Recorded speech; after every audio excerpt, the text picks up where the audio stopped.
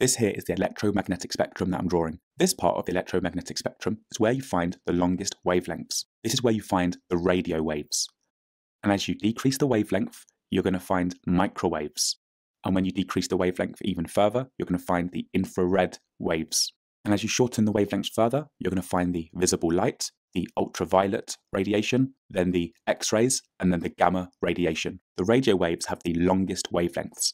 And the gamma rays, they have the shortest wavelengths, as you can see here. So gamma rays have the shortest wavelengths, and radio waves have the longest wavelengths. So as you move down the electromagnetic spectrum from radio waves to gamma rays, you're going to decrease the wavelength. And as you decrease the wavelength, you're going to increase the frequency. So as you decrease the wavelength, you increase the frequency. Radio waves are used to transmit radio signals. Microwaves are used in satellite communications as well as cooking by using microwaves in the kitchen. One of the uses of infrared radiation is going to be in heaters, so you can have infrared heaters in the house. We use visible light to see, but visible light is also used in other uses. We use ultraviolet light in many different ways, but one of the main uses of ultraviolet light is to check for forged banknotes. X rays are used in hospitals to determine whether bones are broken, and gamma rays are used in hospitals too for radiotherapy, which is to treat cancer patients.